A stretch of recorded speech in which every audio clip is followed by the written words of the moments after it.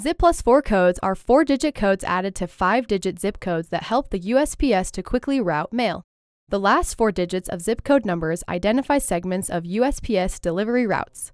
Each Zip plus 4 code usually consists of 6 to 20 delivery points on a street, in a building, or floor in a high rise. Zip plus 4 codes help to prevent misdelivered, lost, delayed, and returned mail. Including those last four digits of the zip code can reduce delivery time by as much as two days. Here's how to find the Zip plus 4 code for any address. Go to smarty.com or click the link in the description. At the top, hover over Resources and then under Demos, select Single Address Verification. Looky here, the very easy to use single address validation tool. Under Lookup Type, specify if you're going to use components address, city, state, and zip code, or freeform. For this example, I'm going full on freeform.